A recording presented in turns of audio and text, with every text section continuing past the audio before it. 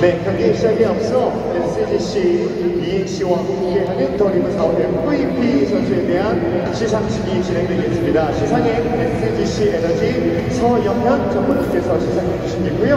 어, 먼저 피처스리그입니다. 피처스리그 투수 양지일, 타자 이승원 선수인데요. 이번에 합류한 이승원 선수 시상하도록 하겠습니다. 이승원 선수를 박수로 맞이해 주시기 바랍니다. 자, 퓨처스에서 멋진 경기 그리고 사원 MVP로 선정이 됐고요. 1군 키움 페로즈에서도 멋진 플레이 할 수 있도록 여러분 많은 응원을 부탁드리도록 하겠습니다.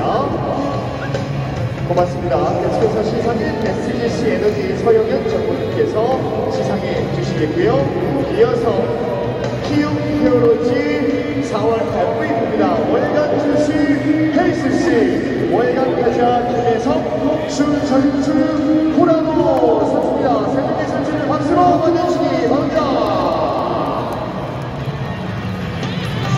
헤이수스 선수부터 시상하도록 하겠습니다.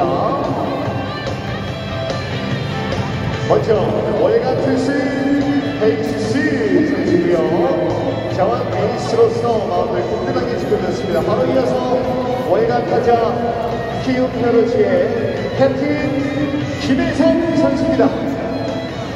꽃다발과 시상보드 그리고 우리 오네이시 호라노 선수 순 선수로 선정됐습니다. 기념사진 촬영이 있겠습니다. 자, 4월 한 달간 우리 키움 페로지 친구를 위해서 멋진 한 해준 세 선수고요. 이제 다시 한번 축하의 박수를 보내주시기 바랍니다. 고맙습니다. 베이스 C 김혜성 브라더 선수였고요. 시상해주신 SBC 에너지 서희경 전문님께도 감사의 인사를 전해드립니다. 다음은 키움님과 홈런존 시상식인데요.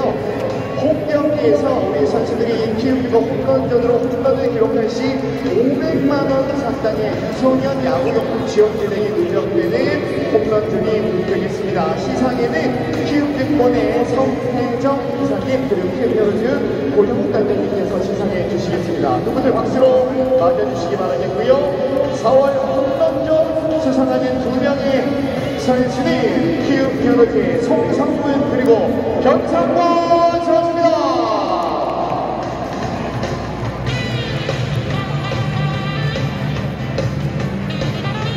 두 명의 선수들에게 꽃다발이 전달되겠고요. 상금 100만 원이 수여되겠습니다.